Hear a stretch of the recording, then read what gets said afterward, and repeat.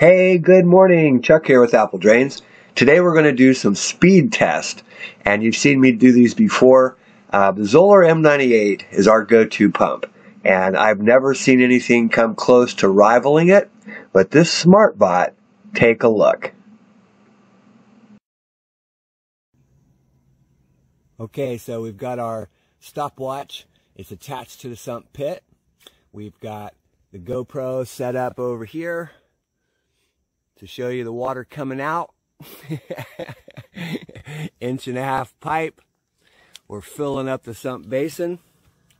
We'll fill it all the way up, 32 gallons. let's see how long it takes to remove the water. okay, we got 32 gallons of water. I'm going to press start and plug this pump in. Let's see how long it takes. You ready?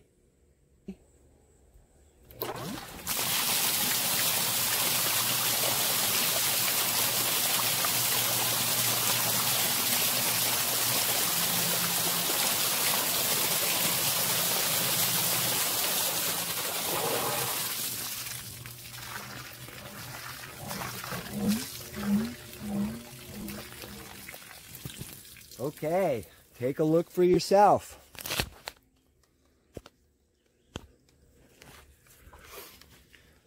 I mean, you know, take a few seconds off for the start and the stop. 20 seconds, less than 20 seconds.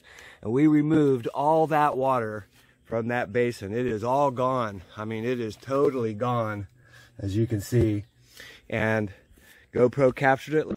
Okay, we're gonna plug it in push that stopwatch and see how fast it goes. Ready?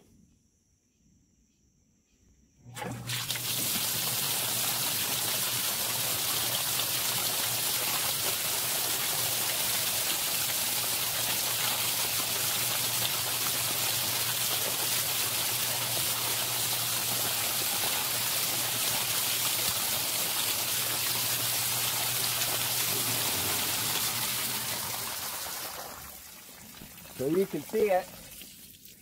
It was about 20 seconds. Moved all that water, 30 plus gallons of water in less than 20 seconds. You know, I've talked about different things. You know, you've watched my videos, and I tell you that this Zoeller M98 can move three trash cans of water every minute. And you can kind of see it, multiply it up, three times 30 is 90 gallons. That's, you know, in a minute, 20 seconds. You can do the math, but that's three trash cans full of water every minute. So fast, so powerful. Okay, so here's the test with the SmartBot. Remember, this is a computerized sump pump. It's actually a utility pump, and we are adapting that to work in an existing sump system. Let's take a look.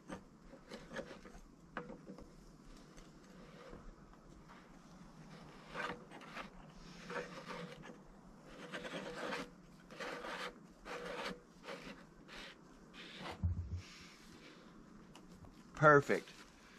So what we're going to do is set up the SmartBot against the Zoeller M98. Got two bases. Okay, we're ready to set up this race, but it's not going to be an exact race because when I plug the SmartBot in, it has a delay. In other words, it needs to sense the water. That's the technology. And when I plug in the Zoeller M98, the float is already up and it's ready to kick on. So there will be a little delay, but I got my watch here if you can see it on the GoPro. Hopefully you can see it. We'll start that. I'd say my guess is that this SmartBot, even though it starts late, is going to outrun the uh, Zoeller M98. Um, I think it's faster, but let's just find out.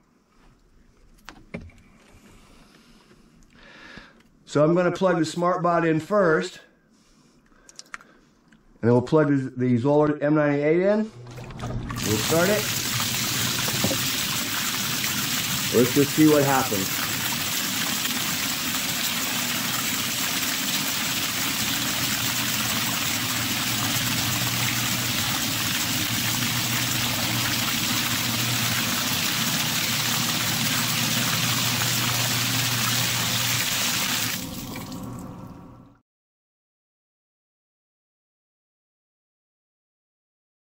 Okay, same thing. Remember, there's a delay on the SmartBot. So I'll plug him in first and then we'll plug the Zoeller in because it's ready to go.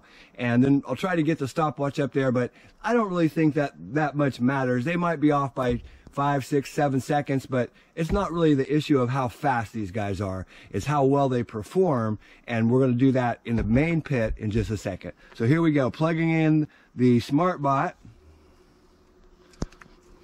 and Zoeller.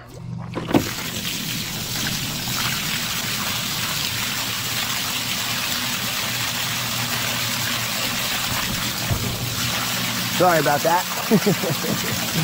Zoeller is powerful.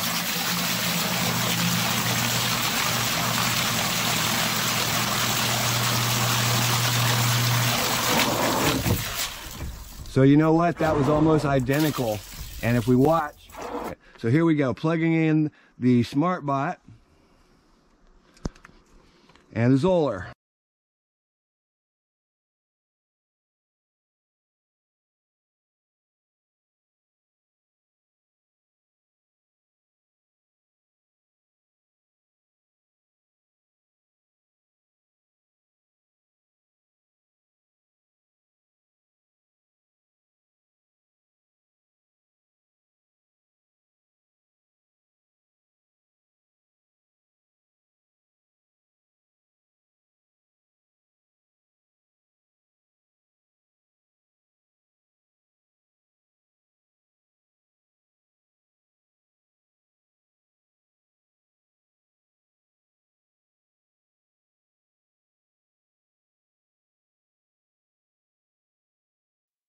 So you can see the SmartBot, it really rivals that Zoeller M98.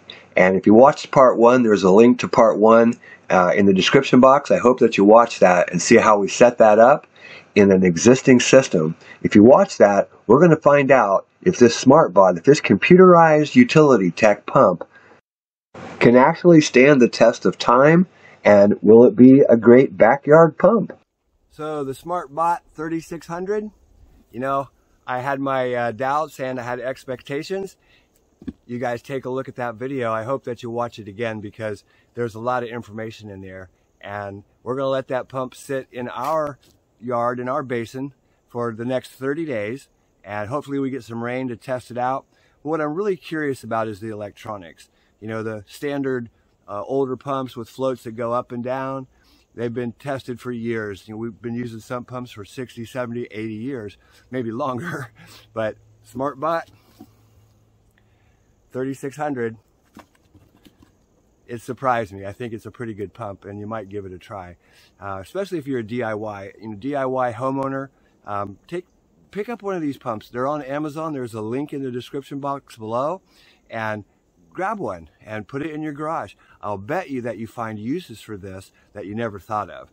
Thank you, Superbot team, all you guys that built this pump and, and sending it to me. That was quite nice. Hey, this is Chuck with Apple Drains, reminding you that if you believe you can do something, I guarantee you can do it. Have a great day.